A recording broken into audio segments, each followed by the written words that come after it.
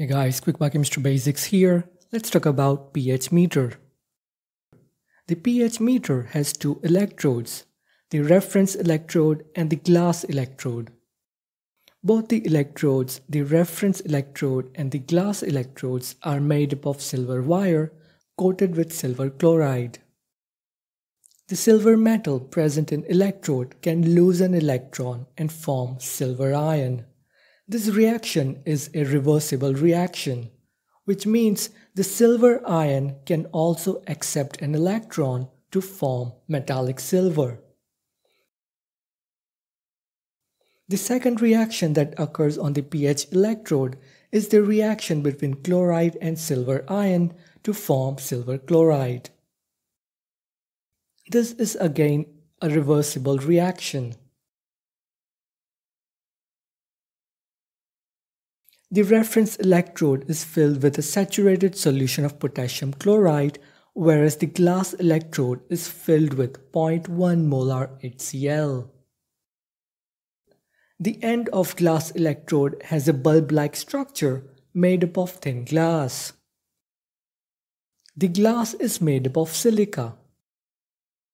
This glass is designed in such a way that the oxygen molecules attached with silica remains outside from both the sides. The inner side of the glass bulb as well as the outer side has the negatively charged oxygen atoms. These oxygen atoms are arranged in such a way that they specifically binds H plus ions from both the sides. When H plus ions binds negatively charged oxygen atoms, they create a layer which we call hydrated gel layer. The hydrated gel layer is present on both the sides of the glass bulb.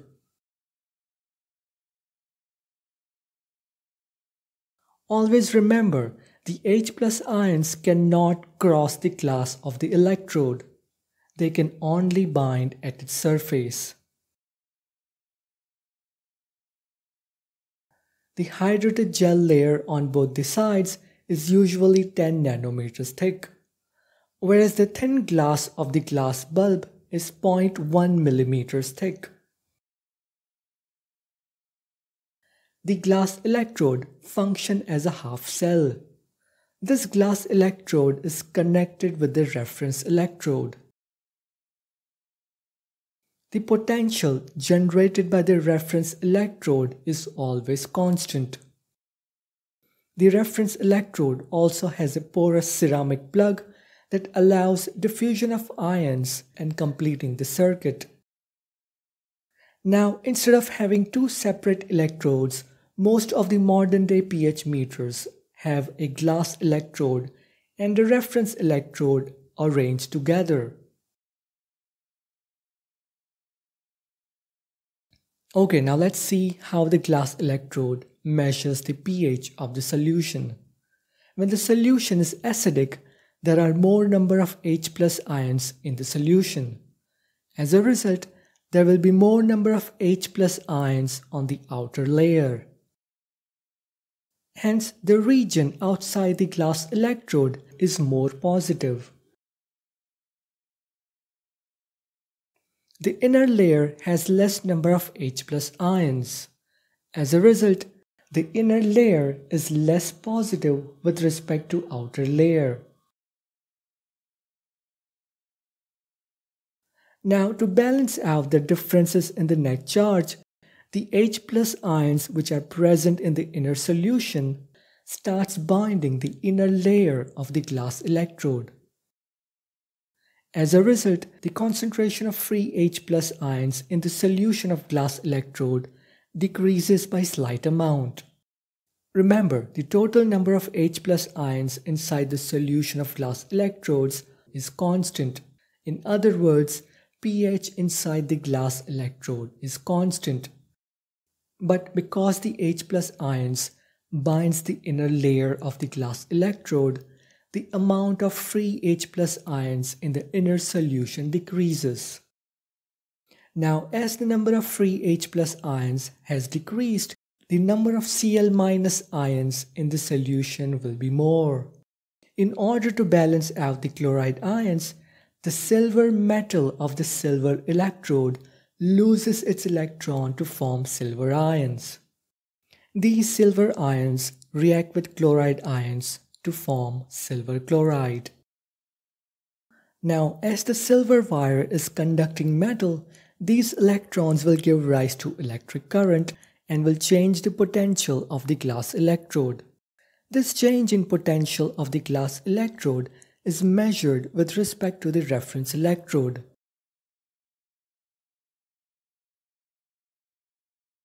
Okay, now let's understand the situation where the outer solution is alkaline. In this case, the number of H plus ions in the outer solution will be very less. As a result, there are less number of H plus ions on the outer layer of the electrode. Hence, the region outside the glass electrode is less positive. The inner layer of the electrode has more number of H plus ions.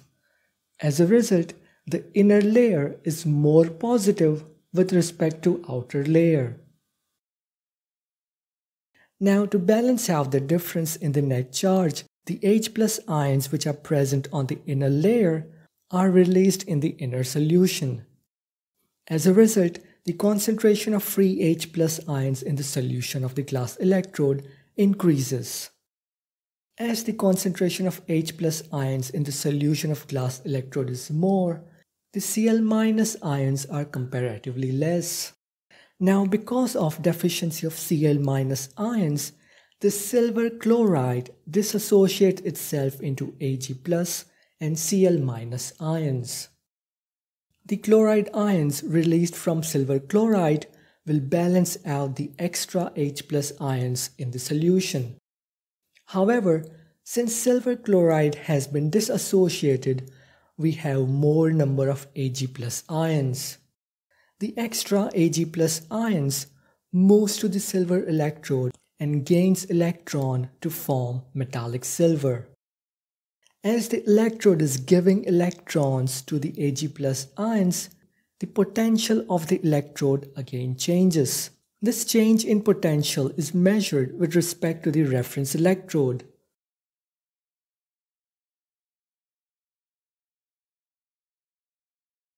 Thus, to summarize, the concentration of H plus ions in the outer solution affects the binding of H plus ions on the inner hydration layer of the electrode. This binding or release of H plus ions on the inner hydration layer affects the oxidation or reduction of silver ions on the electrode. The oxidation or reduction of silver ions causes electrons to be either gained or lost by the electrode. This in turn changes the voltage of the electrode.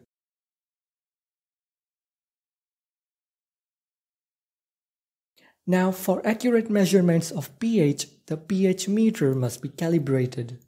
For this, we use buffers with known pH. Usually, buffers having pH 4, pH 7, and pH 10 are used. For calibration, the pH probe is kept in the buffer and the potential difference across the electrodes is measured.